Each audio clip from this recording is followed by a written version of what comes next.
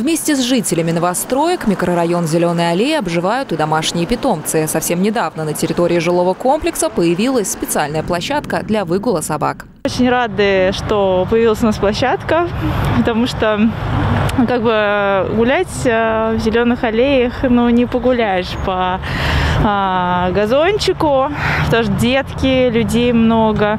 Ну, а с появлением площадки намного стало лучше. Площадка была организована по инициативе жителей, которые обратились к местному депутату Марии Гаевской. Огороженная территория площадью 520 квадратных метров была оборудована в течение двух месяцев. Сначала выкашивали равные территории. Здесь была такие тяжелая, тяжелая территория была. Здесь очень много ям было и строительные э, мусоростатки, такие бетонные плиты. Вот, поэтому мы привлекали. И, конечно, и службы города нам помогали тоже разравнивать площадку. Илья Шейн – хозяин лабрадора Лео. Житель нового микрорайона признается, когда завел собаку, сразу появилась проблема с ее выгулом. Собачников в жилом комплексе оказалось немало.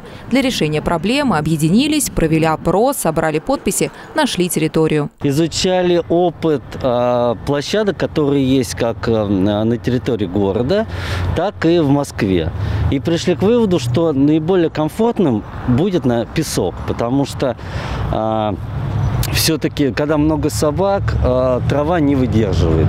Стоит отметить, что у жителей даже существует график выгула собак собаки, которые между собой дружат, мы гуляем в одно время, там а какие-то, допустим, стаффордширские терьеры, они предпочитают отдельно гулять, их там человек 5-10, вот они там порядка, там, ну, скажем, в 10 вечера они выгуливаются, то есть всем комфортно, у всех свое время. Также на площадке установят малые архитектурные формы и снаряды для занятий с питомцами, барьеры, горки и трамплины.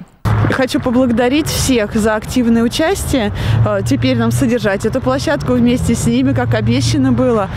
И я стала задумываться о том, чтобы завести собаку.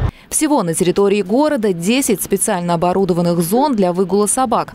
В жилом комплексе «Зеленой аллеи» теперь есть своя собачья территория. Не только для прогулок и игр. Совсем скоро тут можно будет проводить полноценные дрессировки животных. Наталья Буслаева, Александр Логинов, Ольга Садовская, Видное ТВ.